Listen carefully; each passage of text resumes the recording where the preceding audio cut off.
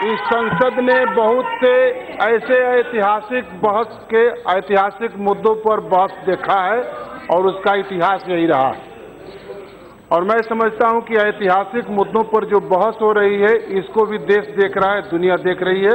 ऐसे कई ऐतिहासिक मुद्दों पर बहस हुई है, जिसका गवाह ये संसद है।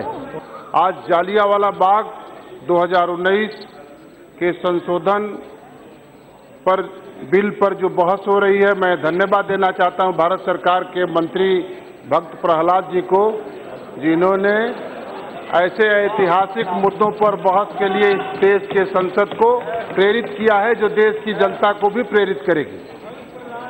सभापति महोदय, मैं जहाँ से सांसद हूँ, बलिया 1942 के आंदोलन का केंद्र रहा। है और मैं जहाँ से पिछले बार बहुत दिनों से सांसद था, अठारह का आंदोलन का केंद्र भदोही रहा। है 22 लोगों की कच्ची फांसी, आज़ादी की लड़ाई के दिनों में भदोही में हुआ था, जहाँ राष्ट्रीय स्मारक ठाकुर झूरी सिंह के स्मृति में बना है। और 1942 मुझे लगता है कि अठारह के आंदोलन ने 1942 के आंदोलन को प्रेरित किया था। 1942 के आंदोलन में हमारे क्षेत्र में जहाँ से मैं आता हूँ, सभापति जी, मोहम्मदाबाद में छात्रों ने आंदोलन किया था, देश को आज़ादी का रास्ता दिखाया था। मोहम्मदाबाद में भी एक स्मारक बना है, जहाँ बाबू शिव पूजन राय जी ने अपनी शहादत दिया था।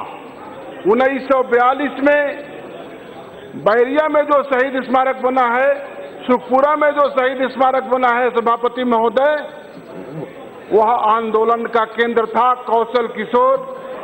उस आंदोलन के नेतृत्व कर रहे थे सुदर्शन सिंह, उस आंदोलन का नेतृत्व कर रहे थे और अठारह के आंदोलन को मैं जहाँ से सांसद हूँ, बलिया से मंगल पांडे के नेतृत्व में वो आंदोलन हुआ था।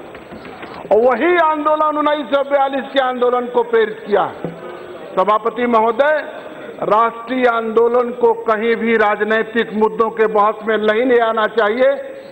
जो आज राष्ट्रीय मुद्दों पर संसद में बहस हो रहे थे, मैं इस बात को कह सकता हूँ कि ये बहस संसद में हास्यास्पद न बने, इसकी भी कोशिश ज़रूर होनी चाहिए।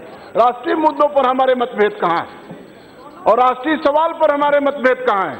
जिस कांग्रेस के नेतृत्व में देश की आज़ादी लड़ी जा रही थी, सभापति महोदय उस कांग्रेस में श्यामा प्रसाद मुखर्जी भी होते थे, महामना मदन मोहनवाली भी होते थे, अच्युत पटवर्धन भी होते थे, जयप्रकाश नारायण भी होते थे, राम मनोहर लोहिया भी होते थे।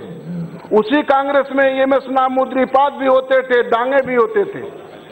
सभापति महोदय, वह कांग्रेस देश को आज़ादी की लड़ाई दिलाने के लिए उसके नेतृत्व में सब लोग राष्ट्रीय सवाल पर लड़ रहे थे कांग्रेस के झंडे के नीचे। क्षमा करेंगे वह कांग्रेस चुनाव लड़ने के लिए कांग्रेस नहीं बनी थी। वह कांग्रेस आज़ादी की लड़ाई लड़ने के लिए बनी थी और जो लोग इस बात को नहीं जानते हैं, डॉक्टर हेडगेवार नागपुर में उस कांग्रेस के क्रांतिकारी कार्यकर्ता होते थे। भारत के इतिहास को देख लीजिए।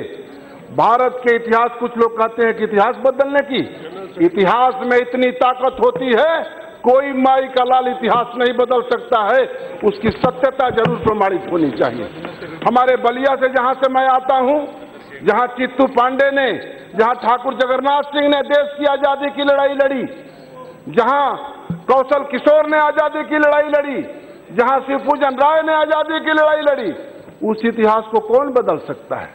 किसमें ताकत है उस इतिहास को बदलने की? ये रोना रोने से कभी भारत का इतिहास बदलने नहीं वाला, बदलने वाला नहीं है। और मैं कह सकता हूँ कि भारत के ऐतिहासिक तथ्य को सम्मानित करने का, श्रेष्ठता प्रदान करने का जो काम हमारी सरकार ने किया है, इस संसद, उसकी प्रशंसा करनी चाहिए। 1942 के आंदोलन के महान नेता जयप्रकाश नारायण के गाँव सिताब में राष्ट्रीय स्मारक बनाने का प्रेरणा, आज के गृह मंत्री और पार्टी के अध्यक्ष अमित भाई शाह ने दिया।